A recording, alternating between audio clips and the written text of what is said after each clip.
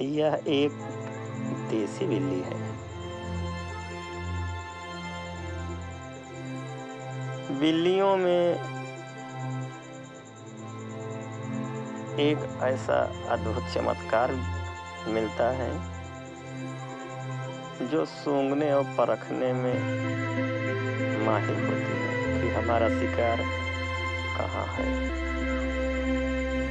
बिल्लियाँ चीते प्रजाति की होती हैं। बिल्ली को हिंदू रीति रिवाज में काली का प्रतीक माना गया है।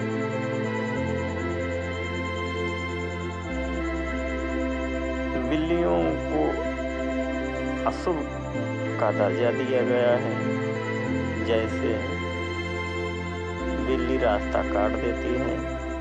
लोग अशुभ मानते हैं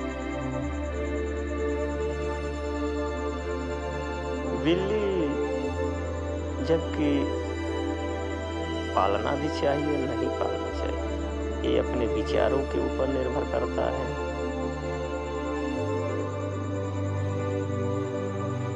बिल्ली पालना शास्त्रों में अशुभ माना गया है,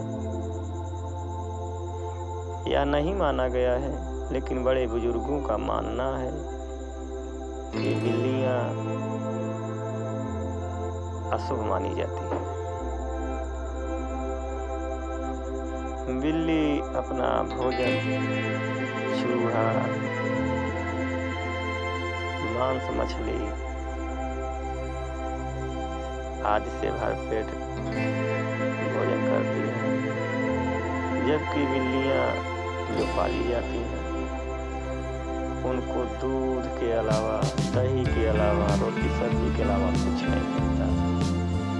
जैसे ये बिल्ली है, ये पालतू बिल्ली है, लेकिन अपने मालिक से छिप करके बाहर जंगल में गई और अपना भोजन करके वापस घर को आ रही है। यह बिल्ली अब अपने घर को जा रही है। इसीलिए यह बिल्ली धीरे धीरे चुप के चुप के जा रही है कि हमारा मालिक कहीं हमें देख ना ले। इसलिए यह बिल्ला,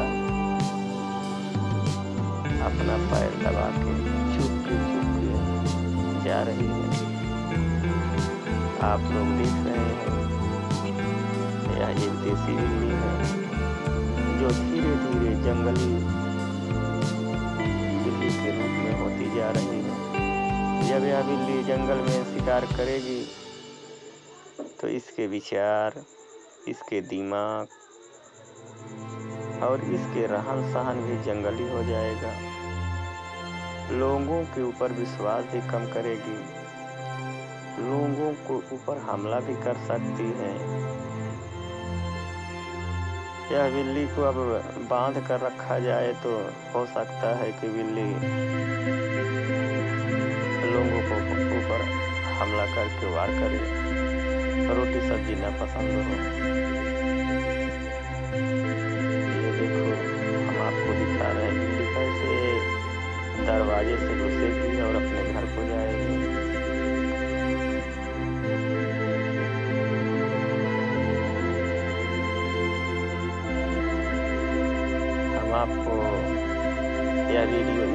दिखा रहे हैं।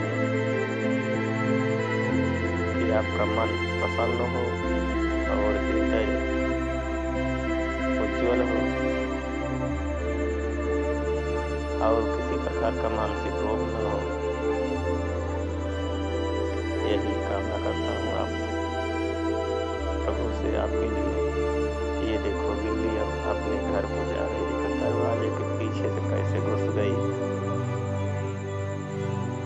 चली गई। अब दूसरा पार्ट देखिए, वह बिल्ला था। यह उसकी पत्नी बिल्ली है।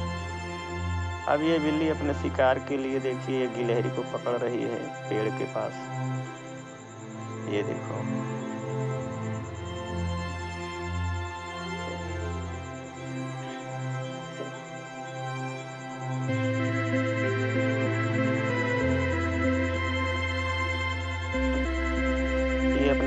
शिकार बखूबी पकड़ना जानती है। और जैसे चीता पेड़ पर चढ़ जाता है, उसी प्रकार यह बिल्ली भी पेड़ पर चढ़ती है। अपना शिकार पेड़ों पर भी चढ़ कर लेती है।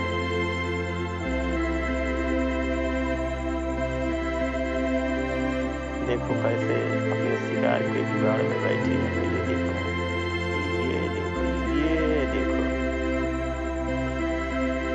तेज़ी से शिकार पर वार किया बिल्ली अपना कान 180 सेंटीमीटर तक घुमा लेती है। बिल्लियों के शरीर में टोटल 230 हड्डियाँ होती हैं। जबकि देखा जाए तो मानव शरीर में मात्र दो से छह हड्डी होती है।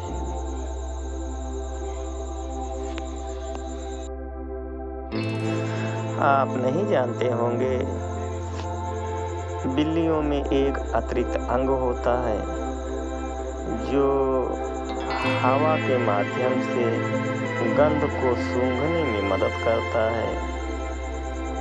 और बिल्लियों के पैर के पीछे भी एक मूछ होती है।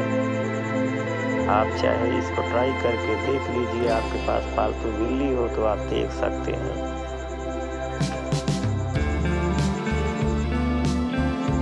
बिल्लियों के समूह को क्लाउंडर कहा जाता है। और बिल्लियों के कुल टोटल 18 नाखून होते हैं, जिसमें अगले पंजे में पाँच पाँच नाखून और पीछे वाले भाग के पंजे में चार चार नाखून होते हैं। बिल्ली एकमात्र स्तनधारी प्राणी है, जो मिठास का स्वाद बिल्कुल कम पसंद करती है।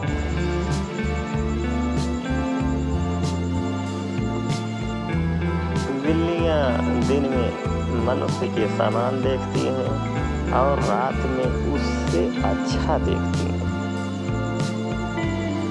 बिल्लियाँ अपने शरीर की वज़न से छह गुना अधिक छलांग लगा सकती है।